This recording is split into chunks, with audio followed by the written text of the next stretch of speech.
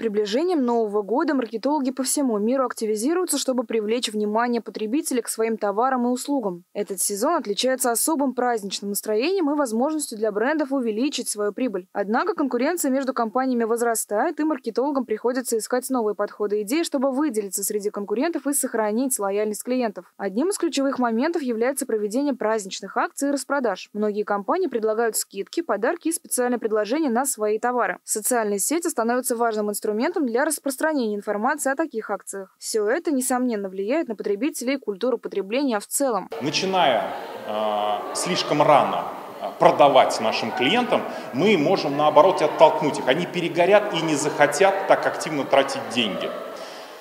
Новогодний период, он характерен высоким институциональным давлением на потребителя. Именно в это время мы меняем потребительское поведение. Предпраздничная суета уже охватила города, и магазины заполняются покупателями в поисках подарков для родных и близких. Ассортимент новогодних товаров поражает разнообразием. От традиционных елочных украшений до оригинальных сувениров и подарков. Новый год – это время, когда маркетологи могут использовать различные стратегии и подходы для привлечения и удержания внимания клиентов. Важно помнить, что клиенты ожидают индивидуального подхода и внимания, поэтому компаниям необходимо учитывать их потребности и желания, чтобы успешно провести маркетинговую кампанию. Что касается самих потребителей, то насколько насколько рационально они подходят к своим тратам в преддверии праздников? Нагрузка на отделы маркетинга в этот период, они неимоверно выше, чем в любые другие дни.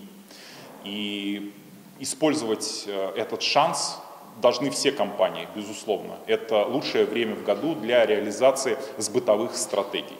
Нагрузка на отделы маркетинга в этот период, они неимоверно выше, чем в любые другие дни. И использовать э, этот шанс должны все компании, безусловно. Это лучшее время в году для реализации сбытовых стратегий. Но надо помнить, что после этого прекрасного периода будет период спада, и, вероятно, необходимо не меньше усилий потратить э, маркетологам для того, чтобы компенсировать упадок спроса после новогодних праздников.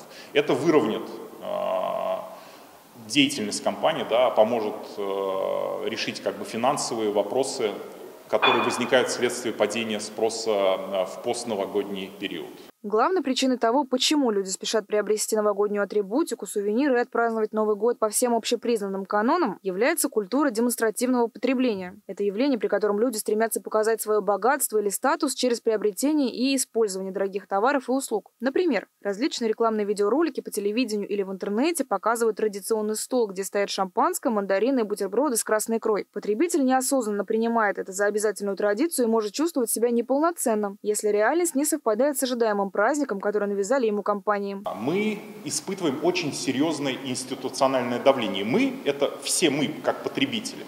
Социум требует, социум требует от нас приобретать и дарить подарки, накрывать богатый новогодний стол. И даже люди с низким социальным статусом, они не могут от этого отказаться. Они вынуждены тратить деньги, что увеличивает неравенство подчеркивает неравенство и является определенным негативным фактором. Последствия демонстративного потребления могут быть как положительными, так и отрицательными. С одной стороны, это может стимулировать экономику, поскольку люди будут тратить больше денег на дорогие товары и услуги. С другой же стороны, это может привести к неравенству и социальной напряженности, поскольку не все люди могут позволить себе такие товары и услуги. Выход из этой ситуации лежит в осознанном подходе к своему бюджету и развитии критического мышления, которое позволит разделить навязанную рекламу и то, что на самом деле хочется человеку. Карина Саяхова, Валерия Карташова, Александр Кузнецов, Универ Новости.